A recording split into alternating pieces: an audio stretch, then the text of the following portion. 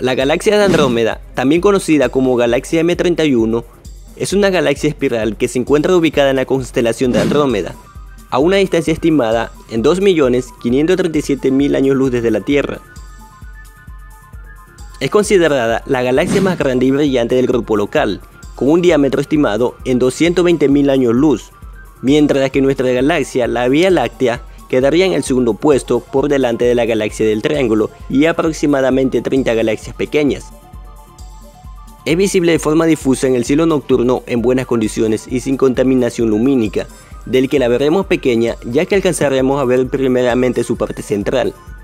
Además de ser para muchos el objeto más lejano que puedan alcanzar a ver a simple vista, solo quizá pudiendo ser superada por la galaxia del Triángulo, un poco más lejana, pequeña y difusa. Dejaré en contexto la gran distancia y el tamaño de Andrómeda. Nuestra luna se encuentra a una distancia en promedio de aproximadamente 384.000 kilómetros desde la superficie de la Tierra. Por tanto, su luz que vemos reflejada en su superficie nos llega en 1.28 segundos.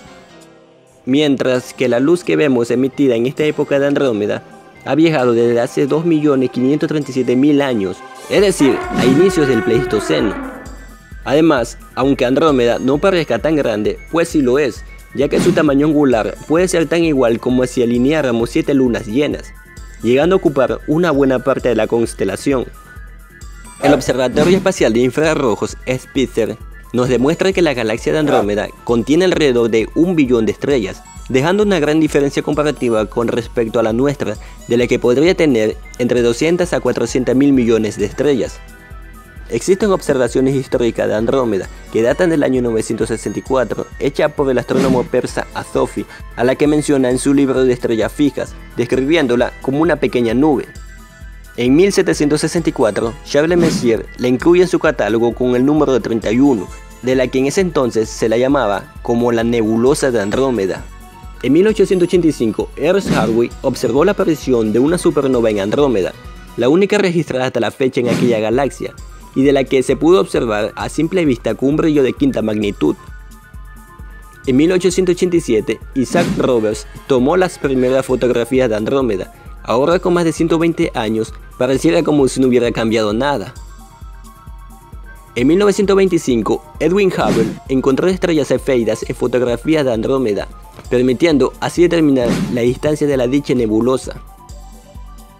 Su medición demostró de manera concluyente que esta característica no es un cúmulo de estrellas y gas dentro de nuestra galaxia, sino una galaxia completamente independiente y a una distancia significativamente grande. De modo que la denominada nebulosa de Andrómeda pasó a ser conocida definitivamente como la galaxia de Andrómeda. El descubrimiento de Hubble es responsable de nuestra concepción moderna de un universo en expansión, de no solo una, sino de miles de millones de galaxias en solo el universo observable.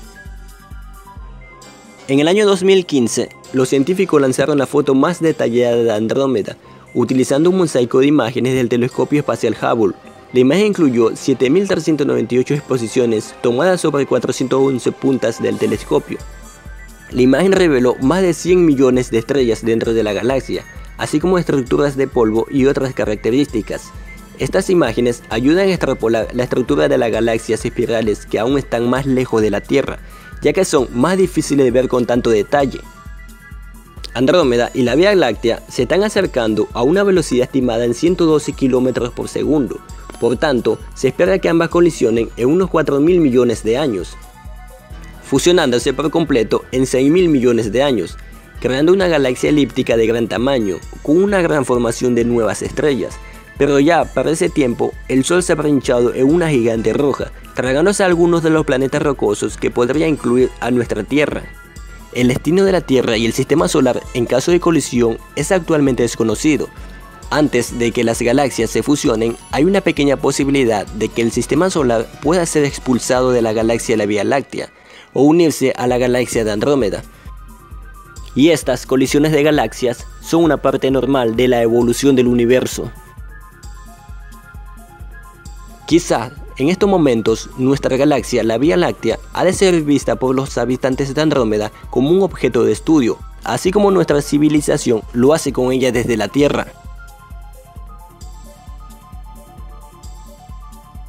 antes de que termine, te recomiendo que te suscribas al canal La Ciencia Detrás de, conducido por mi amiga Karen, del que seguramente te gustará, ya que su contenido es muy bueno aportando divulgaciones científicas, con su objetivo de que la ciencia llegue a más personas, haciendo de este un mundo con más ciencia.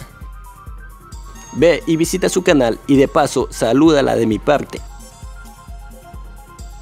Bueno, eso fue todo amigo galáctico. Si te gustó mi video, te pido un gran favor, que me regales un like, comentes, comparte y te suscribas a mi canal, para que este canal siga creciendo y llegue muy lejos. Hasta pronto.